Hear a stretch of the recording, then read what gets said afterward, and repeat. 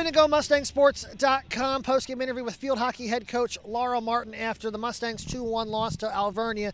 Coach, your overall thoughts on the night? It's just a tough game all around tough game. It was uh, in recognition of our seniors, so I do want to do it like a shout out Absolutely. to our seniors. So of course we've got Kelsey, um, who's in the backfield as a goalie, and she played fabulously tonight. She made a lot of great saves. And then we have our other goalie Hope, who didn't get to see the field today, but she is a behind the scenes, just a gem of a young lady.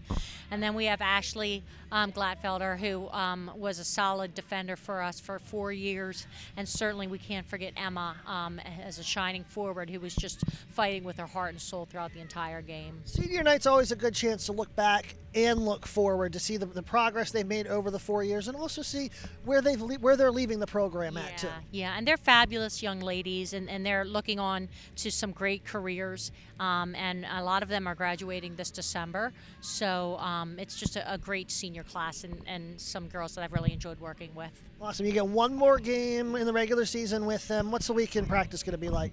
So we have a clinic that we're running tomorrow. So if anybody's out there and wants to come to the clinic in the rain, we'd love to have you. Um, so we've got that going on, um, and the girls help out with coaching and assisting with that.